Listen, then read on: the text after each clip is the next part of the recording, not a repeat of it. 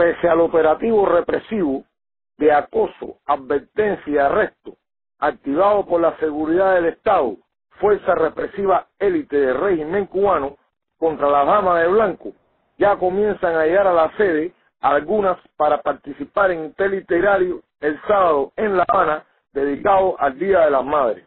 Desde La Habana, Cuba, Ángel Moya Costa, escarcelado político y de conciencia.